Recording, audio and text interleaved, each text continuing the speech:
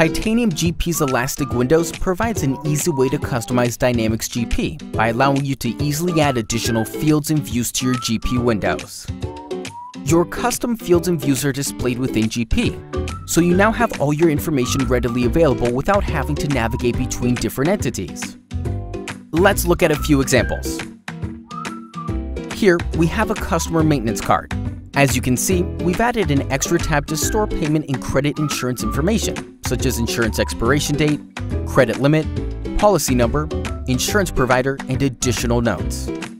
When doing collections, our accounting department now has easy access to valuable information about the customer's payment and credit insurance. Now, let's take a look at how we can add additional information to our item maintenance window.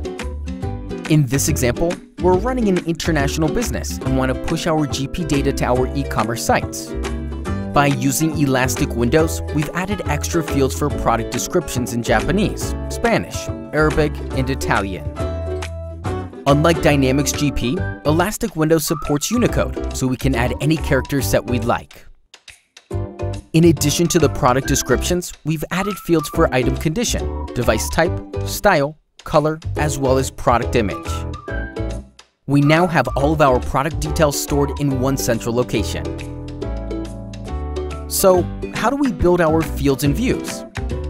We simply use Elastic Designer to drag and drop the desired fields and views into our customized windows. It's that simple. Elastic Windows allows you to customize your Dynamics GP system to accommodate your unique business needs, and helps you create one single source of truth rather than pulling information from several disparate sources. With Elastic Windows, the possibilities for customizing GP are endless.